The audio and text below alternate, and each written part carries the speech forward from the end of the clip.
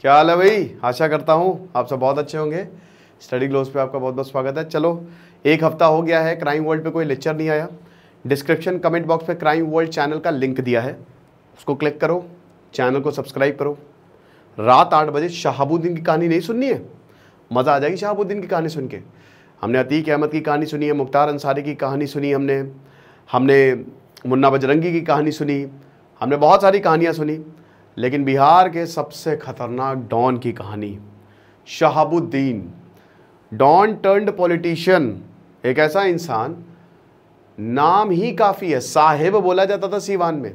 साहेब, आप ये समझिए कि जेल के अंदर, जेल के अंदर दरबार लग रहा है। कौन कितनी फ़ीस लेगा? डॉक्टर कितनी फ़ीस लेंगे? ये तक तय करते थे ये। 2004 में, जब दो भाइयों को तेजाब से नहला के मार डाला था, खतरनाक।